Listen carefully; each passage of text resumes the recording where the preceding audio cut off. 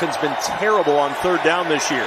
Heinicke's throw is caught, and there's Samuel's first catch with Washington. As Laura mentioned, near the midfield stripe on second down. Here's Samuel trying to get it going out of the backfield, and Samuel with a first.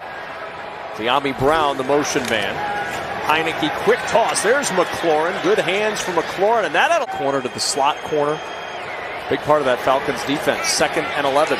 Heinicke over the middle to McLaurin. Rips it away and a first down. Eight. Heinicke looking for it all. McLaurin in the end zone. He's got it. It's a touchdown.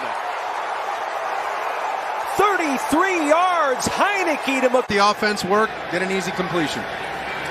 Heinicke on first down. To the air to McLaurin. A first. Going with the analytics Heinicke. here.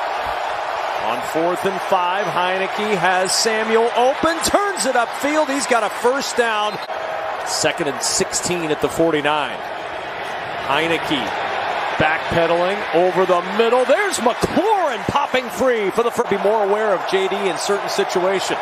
On third down, pressure coming. Heinicke throws. There's JD McKissic aware of him there, and he gets the first down. Heinicke off play action. There's Fowler in the backfield. Heinicke gets away, lobs it in the end zone, and it's caught! It's a touchdown! McLaurin back on the field!